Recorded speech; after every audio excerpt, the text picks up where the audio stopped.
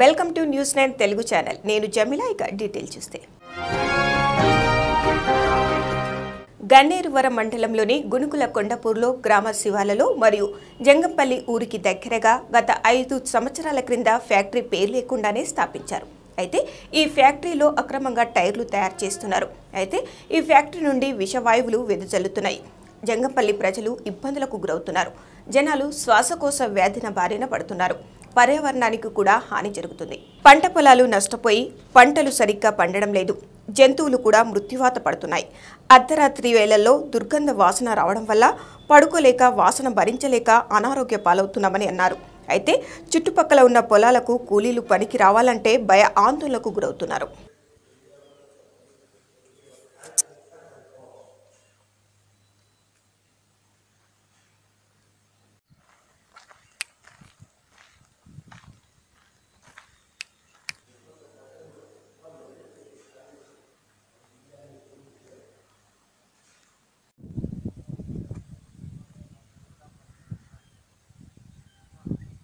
ఇది ఎందుకు సార్? ఇది ప్రజలు నష్టపోయే మిల్లు తీసుకొచ్చి ప్రజల మధ్య ఏదో అరణ్యంలో పెట్టుకోవాలి. ఎటు పదిహేను కిలోమీటర్ల జంగల్లో పెట్టుకునేది అట్లాంటిది.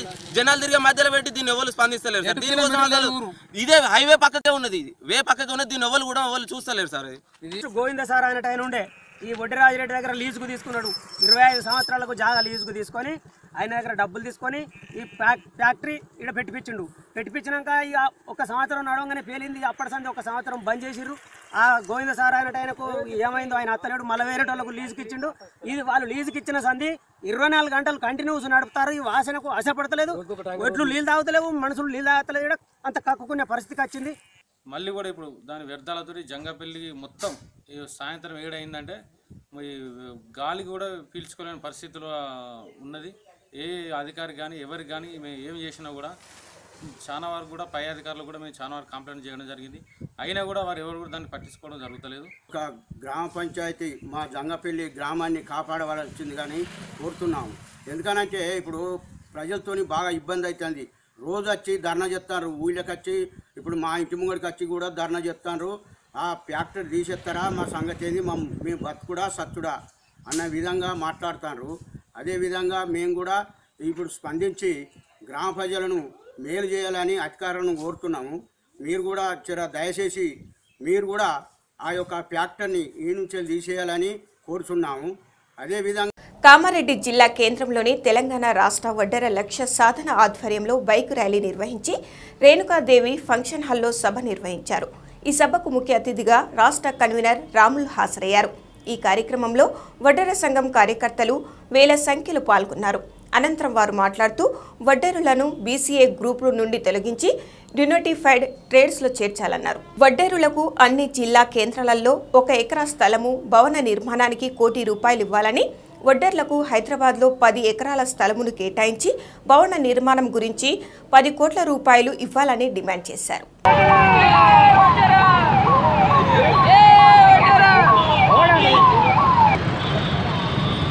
యాభై లక్షల వరకు ఉచితంగా ఈఎండి లేకుండా కాంట్రాక్ట్ వర్కులు ఇవ్వడానికి దాంట్లో థర్టీ పర్సెంట్ అడ్వాన్స్గా పేమెంట్ ఇవ్వాలని నేను డిమాండ్ చేస్తూ ఉన్నాను. మహిళల గురించి ఐదు లక్షల వరకు ఉచితంగా ఆర్థిక సాయం అందించాలని నేను డిమాండ్ చేస్తూ ఉన్నాను. వడ్డర్ల గురించి ప్రతి మండల కేంద్రంలో ఐదు ఎకరాల క్వారీ పట్టా మంజూరు చేసి లీజు ఇవ్వవలసిందిగా ఐదు కోట్ల రూపాయలు ఆర్థిక సాయం అందించవలసిందిగా నేను కోరుతున్నాను. అది కాకుండా వడ్డర్ల సంక్షేమం గురించి ప్రతి జిల్లా కేంద్రంలో ప్రత్యేకంగా శిక్షణ గురించి ఒక ప్రభుత్వం తరఫున శిక్షణ కేంద్రాలు ఏర్పాటు చేయాలని అది కాక వడ్డర్ల భవిష్యత్తు గురించి వడ్డర్లను ప్రత్యేకంగా డిఎన్టీలో పంతొమ్మిది వందల డెబ్బై ఆరుకు ముందు వడ్డర్లు సంచార జాతుల్లో ఉన్నారు. నైజాం పాలన కూడా సమైక్య రాష్ట్రంలో కూడా వడ్డర్లను డిఎన్టీలుగా పరిగణించారు. మనకు స్వాతంత్రం వచ్చిన తర్వాత పంతొమ్మిది వందల డెబ్బై ఆరులో ఏదైతే క్యాస్ట్ రీఆర్గనైజేషన్ చేసి ఏబిసిడీలుగా విభజించారో డిఎన్టీలో ఉన్న వడ్డర్లను తీసి బీసీ గ్రూపులు ఏ చేసి మాకు తీరని అన్యాయం చేశారు. ఇప్పుడు మన ప్రియతమ ముఖ్యమంత్రి గారు మా వడ్డర్లపై అవగా ఆశీర్వదించి ఒడ్డర్ని ఆశీర్వదించి మా కులాన్ని తిరిగి టీఎన్టీలో రీఇన్స్టిట్యూట్ చేయవలసిందిగా ప్రార్థిస్తున్నాం. కర్నూలు జిల్లా శ్రీశైలం రోడ్డులో ఘోర రోడ్డు ప్రమాదం జరిగింది. ఈ ప్రమాదంలో నలుగురు అక్కడికక్కడే మృతి చెందారు. దాదాపుగా ఇరవై ఐదు మందికి గాయాలయ్యాయి. వీరందరిది కృష్ణా జిల్లా కైకలూరుగా గుర్తించారు. వీరంతా? శ్రీశైలం యాత్రకు ఓ ప్రైవేటు బస్సులో వెళ్తూ బస్కు బ్రేకులు ఫెయిల్ అవ్వడంతో ఈ ప్రమాదం జరిగింది.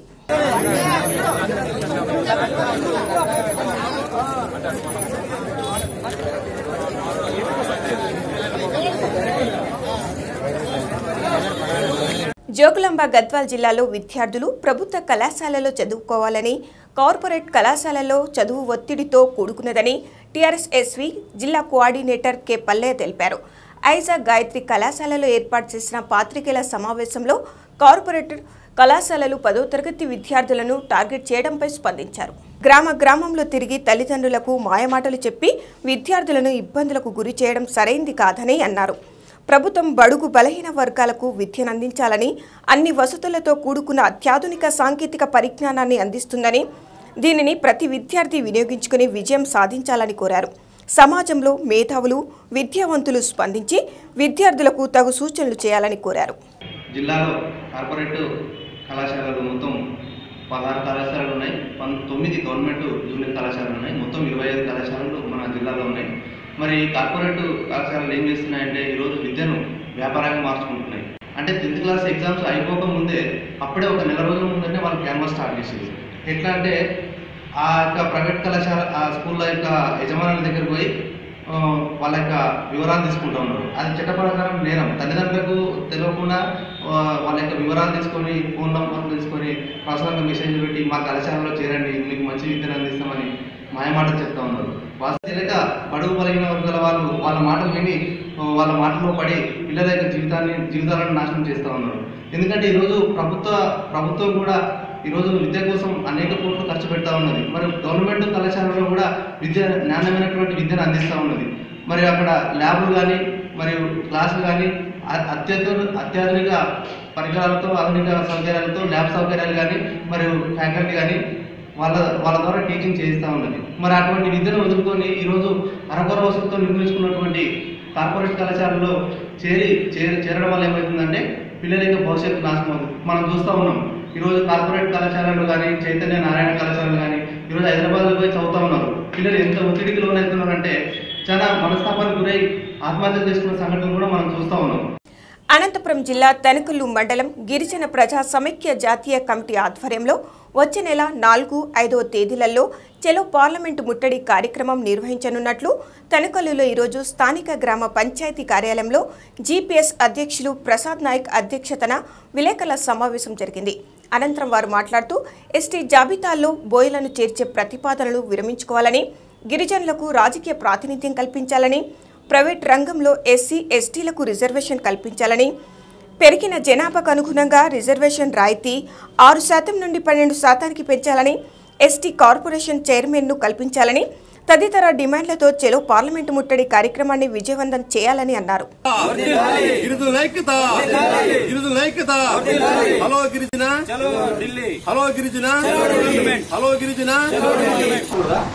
ఏమిటి అన్యాయం? అసలు మేము ఏం తప్పు చేశాం? వాళ్ళ ఓటేయడం తప్ప వాళ్ళని గెలిపించడం తప్ప వాళ్ళని గౌరవించడం తప్ప. అందుకని మేము ఒక నిర్ణయానికి వచ్చాం. ఇప్పటి నుంచి వీళ్ళు ఎక్కడ ఏం చేసినా కూడా ఎక్కడిదక్కడ ఖండిస్తూ ప్రతి ఒక్క గిరిజనుని కూడా మేము అవర్నే అవేర్నెస్ చేస్తూ ప్రతి ఒక్క గిరిజనులకి మా సమస్యలు వివరిస్తూ మేము ముందుకు నడవాలని జాతీయ కమిటీ నాయకుడు మా జాతీయ నేషనల్ జాతీయ నాయకుడు వడితే శంకర్ నాయక్ గారి పిలుపు మేరకు ఈ ఎస్టీ జాబితాలో బోయలు చేరుస్తాము చేసే చేసే ప్రతిపాదన ఏ రోజైతే వాళ్ళు ప్రతిపాదించినారో ఆ రోజు నుంచి ఆహార నిషాల రాత్రి పొగలు ఎక్కడ ఆ జిల్లాలో కానీ మండలంలో కానీ ఎక్కడో అక్కడ ఆయన అవర్గే అవేర్నెస్ చేసి అసెంబ్లీ ముట్టడి పెట్టాం. ధర్నాలు రాస్తారాకులు చేస్తామని చెప్పి తెలియజేస్తున్నాం. కాబట్టి ముఖ్యమైనటువంటి డిమాండ్ ఏమంటే జనాభా నిష్పత్తి ప్రకారం మాకు ఆరు నుండి పన్నెండుకి రిజర్వేషన్ పెంచాలా? ఢిల్లీలో ఉన్న ఢిల్లీలో జరిగినటువంటి నాలుగవ తేదీ ఐదవ తేదీన జరిగే కార్యక్రమానికి ఇక్కడ ఇచ్చేసినటువంటి వాళ్ళతో పాటు ఈ యొక్క మీ యొక్క సహాయ సహకారంతో టీవీలో చూసి పేపర్లో చూసి మన వాళ్ళు కానీ గిరిజనులు ఎక్కడున్నా కానీ ఢిల్లీలో జంతర్ మంత్ర దగ్గర పెద్ద ఎత్తున కార్యక్రమం ఉంటుంది కాబట్టి ఈ యొక్క బోయల్ని ఎస్టీ జాబితాల నుండి తీసుకునే ప్రతిపాదన వెంటనే విరమించుకోవాలని చెప్పి మేము ముఖ్యమైనటువంటి డిమాండ్ చేస్తున్నాం. అంతేకాకుండా ఈరోజు మన పిల్లలు చదువుకున్నటువంటి పిల్లలు చాలా మంది ఉన్నారు. ఎస్టీలుగా ఎస్సీలుగా బీసీలుగా ఈరోజు కనీసం ఉద్యోగాలు లేక ఈరోజు కనీస ఉద్యోగాలు లేక ఈ రోజు చాలా మంది వేరే రాష్ట్రాలకి వేరే దేశాలకు వెళ్ళి చదువుకుంటున్నారు వేరే దేశాలకు వెళ్ళి ఉద్యోగాలు చేసుకుంటున్నారు. కనీసం ఈ రోజు చంద్రబాబు నాయుడు గారు చెప్పినట్టే నిరుద్యోగులకి రెండు వేల రూపాయలు వృత్తి ఇస్తామన్నాడు వృత్తి లేదు. అతను కొడుకు మాత్రం ఒక జాబ్ ఇచ్చుకున్నాడు మంత్రి పదవి. కాబట్టి ఈ రోజు రాష్ట్రంలో అనేక గిరిజన సమస్యలు ఉన్నాయి కాబట్టి వాటిని సత్వరంగా పరిష్కారం చేయాలని చెప్పి మేము ఈరోజు మేము ఇక్కడ తన్నకల్లో ముఖ్యమైనటువంటి మా నాయకులతో సమావేశం జరిపినాం. కాబట్టి ఇంతటితో ఈ సమస్యలు పరిష్కారం చేయకపోతే రానున్న రోజుల్లో మేమంతా రాష్ట్ర వ్యాప్తంగా గిరిజన సంఘాలుగా గిరిజన విద్యార్థులుగా పెద్ద ఎత్తున ధర్నాలు చేయడానికి మేమంతా ముందుంటామని చెప్పి తెలియజేస్తున్నాం. అనంతపురం జిల్లాలోని యాడికిలో న్యూస్ నైన్ లైవ్ టీవీకి స్పందన. గత వారం యాడికిలో బస్టాండు లేక ప్రయాణికుల ఇబ్బందులు అనే కథనానికి స్పందించిన దాతలు ప్రయాణికుల సౌకర్యార్థం చలువ పందిరి ఏర్పాటు చేశారు. అలాగే సీనియర్ టీడీపీ నాయకుడు బాల రమేష్ మాజీ ఎంపీపీ బాల చంద్రశేఖర్ చౌదరి చలివేంద్రం ఏర్పాటు చేయడంతో ప్రయాణికులు స్థానికులు హర్షం వ్యక్తం చేశారు.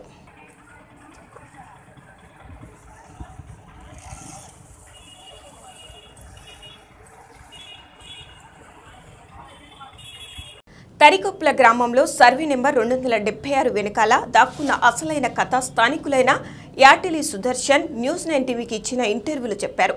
ఈ ఇంటర్వ్యూలో సుదర్శన్ మాట్లాడుతూ సర్వే నెంబర్ రెండు వందల డెబ్బై ఆరు భూమి యాటిలి బాలయ్య పేరున పట్టా ఉంది. ఈ భూమి మీద యాటిలి బాలయ్య వారసులకు మాత్రమే అధికారం ఉంటుంది. కొంతమంది స్వార్థపరుల కుట్రపూరితంగా రెవెన్యూ రికార్డ్స్ మరియు భూమిని కొనుగోలు చేసినట్లు చిత్రీకరించి నిజమైన హక్కుదారులకు చెందకుండా కుట్రలు చేశారు. వీటి విషయంలో బాలయ్య బంధువులు పోరాటం చేశారు.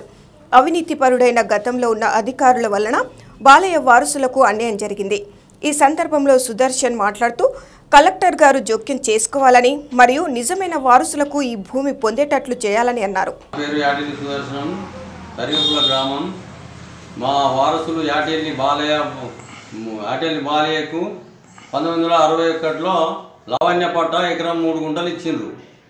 అది అరవై ఒకటి నుంచి డెబ్బై పంతొమ్మిది వందల డెబ్బై సంవత్సరం వరకు ఆయనే చేసుకుని బ్రతికిన దాని మీద. తర్వాత ఏదునూరు వెంకటయ్య కుమ్మరి వెంకటయ్యకు ఆయనే కౌలుకిచ్చిండు.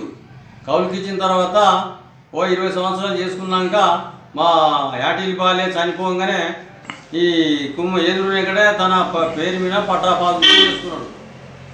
చేసుకొని ఇరవై సంవత్సరాలు వ్యవసాయం చేసుకొని బ్రతుకుతుండు. బ్రతుకునే సందర్భం లోపల అది వేరే వాళ్ళకు విక్రయించే సందర్భం లోపల మేము అందరం కలిసి దాన్ని గుంజుకున్నాం అది తీసుకొని మేము పోరాటం చేసినాం. పోరాటం చేసిన తర్వాత యాటే చేసిన తర్వాత ఆర్టీఓ గారు తర్వాత డిఎస్పి ఎస్ఐ ఎంఆర్ఓ గారు వచ్చి బహిరంగ సభ పెట్టి ఇటు భూమిని అమ్మొద్దు కొనొద్దు అని చెప్పి బహిరంగ సభలో చెప్పారు ఇటు భూమి యాటిల్లి పాయలకే చెందదు కానీ ఎవరికి చెందదని మాట్లాడిండు ఆ సందర్భంలో ఆడియో గారితో మాట్లాడితే ఎస్సీలో మేము పోరాటం చేస్తున్నారు మాకే ఉండాలని మేము ప్రయత్నం చేస్తే మీరే ఉంచుకోండి అని చెప్పిపోయారు గ్రామ పంచాయతీ తీర్మానం ప్రకారం మాకే ఈ భూమిని ఇచ్చిర్రు అది రెండు సంవత్సరాలు మేము పంచుకోకుండా ఉండడం వల్ల మళ్ళా దాన్ని దొంగ పట్టా చేయించిండ్రు కుమార్ వెంకటయ్యకు ఊళ్ళే రాజకీయ నాయకులు.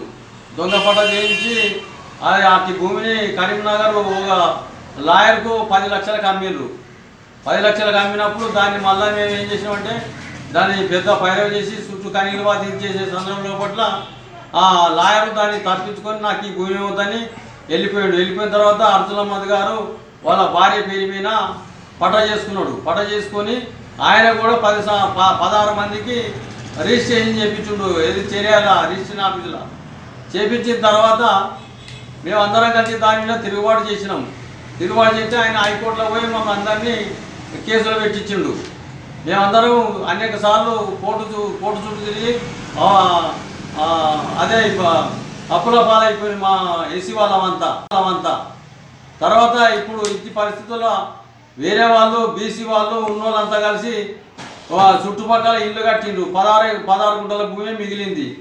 ఈ భూమి ఇప్పటి ఈ విషయంలో బెజగం బెజగం రాజనేవాడు అక్కడ వెనక ముందర రూమ్ కట్టిండి వెనక బాత్రూమ్ కొరకు మళ్ళా స్లాబ్ వేసినందుకు ప్రయత్నం చేసే సందర్భంలో పట్ల నేను ఎంఆర్ఓ గారికి కంప్లైంట్ చేస్తే ఆయన గారు వచ్చి దాన్ని ఆపించి మళ్ళా బంద్ పెట్టించిండు కాబట్టి ఎస్సీల మీద మేము అందరం అంబేద్కర్ సంఘం కొరకు ప్రయత్నం చేసి భూమి సాగు చేసినందుకు ఎస్సీల మీద ఎనిమిది మంది మీద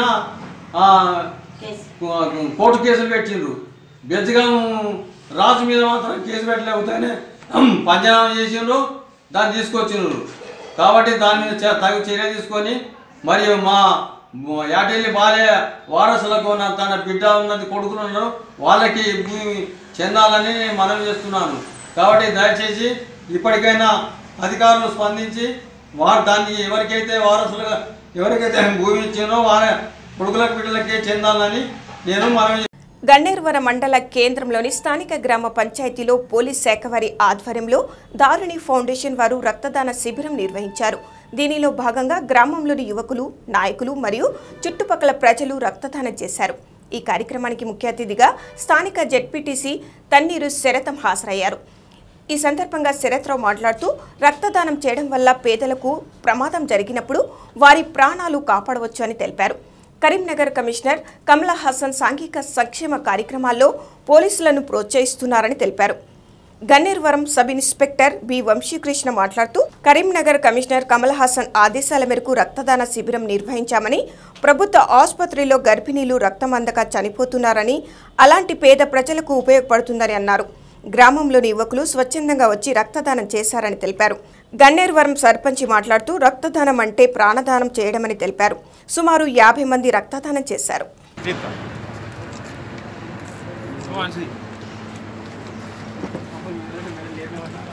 గారు కమిషనర్ గారి ఆదేశాల మేరకు నిర్వహించడం జరిగింది. దానికి ధరణి ఫౌండేషన్ వారు సహకారం అందించారు. మరి ఒకరి రక్తదానం అంటే ఒక ప్రాణదానం అన్నట్టు. రక్తం అంటే చాలామందికి కొన్ని అవసరాలు దొరకకపోవచ్చు. కొన్ని స్పెషల్ కేటగిరీస్ ఉంటే దాంట్లో కూడా మరి కొన్ని దొరుకుతాయి కొన్ని దొరుకుతాయి రక్తదానం అనేది మహా పుణ్యమైన కార్యక్రమం. రక్తదానం వలన ఒక కొద్ది ప్రాణాలు కూడా మనం నిలబెట్టాలనే ఆలోచన మరి అందరికీ కూడా యువతకు రావాలి. మరి ఈరోజు దాదాపు నలభై యాభై మంది ఇక్కడ చేయడం జరిగింది. పోలీస్ శాఖ వారి ఆధ్వర్యంలో. మరి దీనికి సహకరించినటువంటి యువ యువజన సంఘాలకు యువకులకు వార్డు సభ్యులకు వచ్చిన అందరికీ కూడా ముఖ్యంగా జడ్పీటీసీ గారికి సర్పంచ్ తిరుపతి రెడ్డి గారు స్వయంగా ఒక సర్పంచ్గా వారు ఇవ్వడం చాలా మరి ఆనందకర విషయం.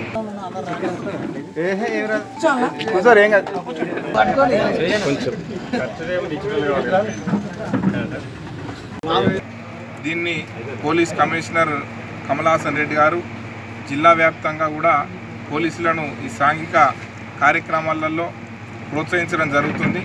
దానిలో భాగంగానే ఇక్కడ ఎస్ఐ వంశీ ఆధ్వర్యంలో ఈ బ్లడ్ డొనేషన్ క్యాంప్ పెట్టడం జరిగింది.